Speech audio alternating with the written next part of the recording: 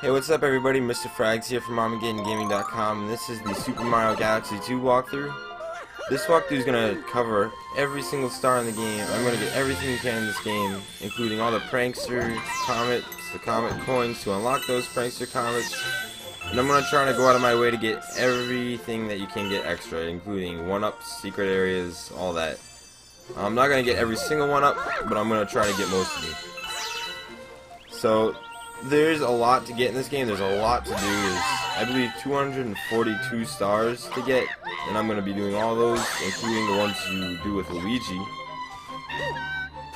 Um, all the hidden stars, anything hidden, I'm going to go after. Show you guys the most in-depth Super Mario Galaxy 2 guide you've ever seen. Hopefully I can hold up to that promise. So for now, it's just the introduction of the game, just a 2D kind of Mario. Uh, right here, to be a little 3D. Um,